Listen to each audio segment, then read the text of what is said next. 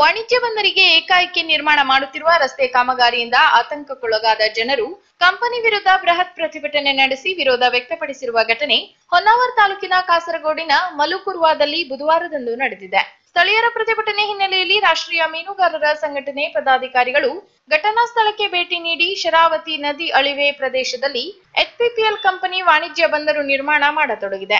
ಬಂದರಿಗೆ ಪೂರಕವಾಗಿ ಶರಾವತಿ ಅಳವೆ ಪ್ರದೇಶದಲ್ಲಿ ಇದೀಗ ಏಕಾಏಕಿ ಮಣ್ಣು ಸುರಿದು ರಸ್ತೆ ನಿರ್ಮಾಣಕ್ಕೆ ಮುಂದಾಗಿದ್ದು ರಸ್ತೆ ಅಂಚಿನ ಮನೆಗಳ ಜನರು ಆತಂಕಕ್ಕೆ ಒಳಗಾಗಿದ್ದಾರೆ.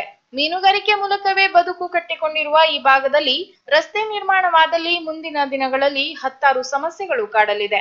ಇನ್ನು ಈ ಭಾಗದಲ್ಲಿ ಮೀನುಗಾರಿಕೆಯನ್ನೇ ಅವಲಂಬಿಸಿ ಅಧಿಕೃತವಾಗಿ ಇಪ್ಪತ್ತೈದು ಸಾವಿರದ ಐನೂರು ಮೀನುಗಾರರು ಅವಲಂಬಿತವಾಗಿದ್ದಾರೆ.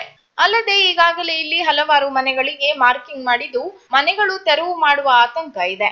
ಇನ್ನು ಕಂಪನಿ ಎಲ್ಲಿಯವರೆಗೆ ಬಂದರು ಅಭಿವೃದ್ಧಿ ಪಡಿಸಲಿದೆ ಎಂಬುದರ ಬಗ್ಗೆ ಯಾರಿಗೂ ಕೂಡ ಸರಿಯಾದ ಮಾಹಿತಿ ಇಲ್ಲ. ಇನ್ನು ಬುಧವಾರದಂದು ಕಂಪನಿ ಪೊಲೀಸ್ ಭದ್ರತೆಯಲ್ಲಿ ರಸ್ತೆಯಂಚಿನ ಮನೆಗಳನ್ನು ತೆರವುಗೊಳಿಸುವ ಬಗ್ಗೆ ಮಾಹಿತಿ ಲಭ್ಯವಾಗುತ್ತಿದ್ದಂತೆ ಆತಂಕಿತರಾದ ಸ್ಥಳೀಯರು ಬೃಹತ್ ಪ್ರತಿಭಟನೆ ನಡೆಸಿ ತೀವ್ರ ವಿರೋಧ ವ್ಯಕ್ತಪಡಿಸಿದ್ದಾರೆ.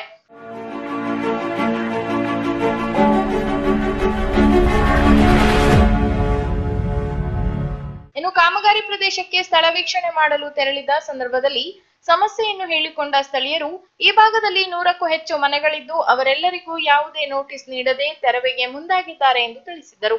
ಆದ್ದರಿಂದ ಸ್ಥಳೀಯರಿಗೆ ಸರಿಯಾದ ಮಾಹಿತಿ ನೀಡಿ ಕೂಡಲೇ ಕಾಮಗಾರಿಯನ್ನು ಸ್ಥಗಿತಗೊಳಿಸುವಂತೆ ರಾಷ್ಟ್ರೀಯ ಮೀನುಗಾರ ಸಂಘಟನೆಯ ರಾಜ್ಯಾಧ್ಯಕ್ಷ ರಾಮ ಮೊಗೇರ್ ಒತ್ತಾಯಿಸಿದರು. ಕಂಪನಿಯು ಸರ್ವೆ ಮಾಡಿದ ಕಾಮಗಾರಿ ಸಂಪೂರ್ಣ ದುರುದ್ದೇಶದಿಂದ ಕೂಡಿದ್ದು ಜನಸಾಮಾನ್ಯರಿಗೆ ತೊಂದರೆಯಾಗುತ್ತಿದೆ. ಹಾಗೂ ಯಾವುದೇ ದಾಖಲೆಗಳು ಇಲ್ಲದೆ ಸ್ಥಳೀಯರ ವಿರೋಧವಿದ್ದರೂ ಸಹ ಜಿಲ್ಲಾಡಳಿತ ಹಾಗೂ ಸರ್ಕಾರ ಕಾಮಗಾರಿಗೆ ಅನುಮತಿ ನೀಡಿದ್ದು ಕಾಮಗಾರಿಯನ್ನು ಕೂಡಲೇ ಕೈಬಿಡಬೇಕು ಹಾಗೂ ಇದರ ಬಗ್ಗೆ ಸಂಪೂರ್ಣ ತನಿಖೆಯಾಗಬೇಕು. ಇಲ್ಲದಿದ್ದರೆ ಈ ಬಗ್ಗೆ ಉಗ್ರ ಹೋರಾಟವನ್ನು ಮಾಡಲಾಗುವುದೆಂದು ರಾಷ್ಟ್ರೀಯ ಮೀನುಗಾರ ಸಂಘಟನೆ ಕಾರ್ಯಾಧ್ಯಕ್ಷ ಮಂಜುನಾಥ್ ಸುಣಗಾರ್ ಸರ್ಕಾರಕ್ಕೆ ಎಚ್ಚರಿಕೆಯನ್ನು ನೀಡಿದ್ದಾರೆ.